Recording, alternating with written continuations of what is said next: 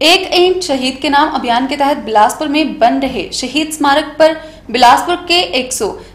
शहीदों के नामों की प्लेटें शहीद स्मारक पर लगाई गई। इस कार्यक्रम में उपायुक्त राजेश्वर गोयल, एडीएम विनय दिमान व अभियान के राष्ट्रीय संयोजक संजीव राणा सहित पूर्व सैनिक उपस्थित रहे।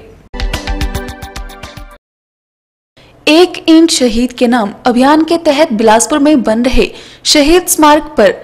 बिलासपुर के एक सौ सैंतालीस शहीदों के नामों की प्लेटें शहीद स्मारक पर लगाई गई। इस कार्यक्रम में उपायुक्त राजेश्वर गोयल,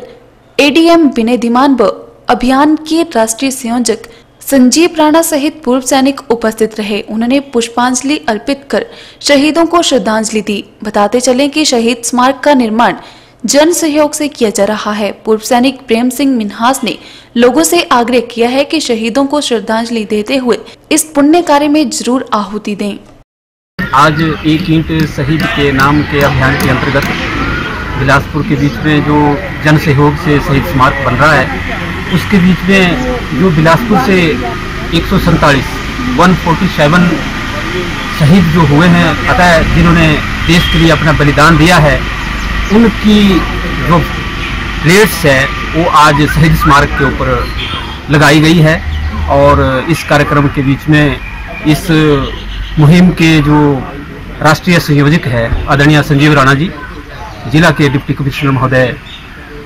एडीएम साहब और भी हमारे सेना से रिटायर्ड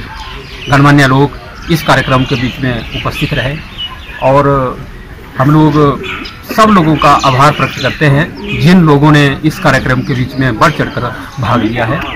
मैं एक्स सुबेदार मित्र प्रेम सिंह मनहास सभी लोगों से निवेदन करता हूँ, आग्रह करता हूँ कि सारे लोग ऐसे पुण्य कार्य के बीच में बढ़ चढ़कर भाग लें और उन वीरों को,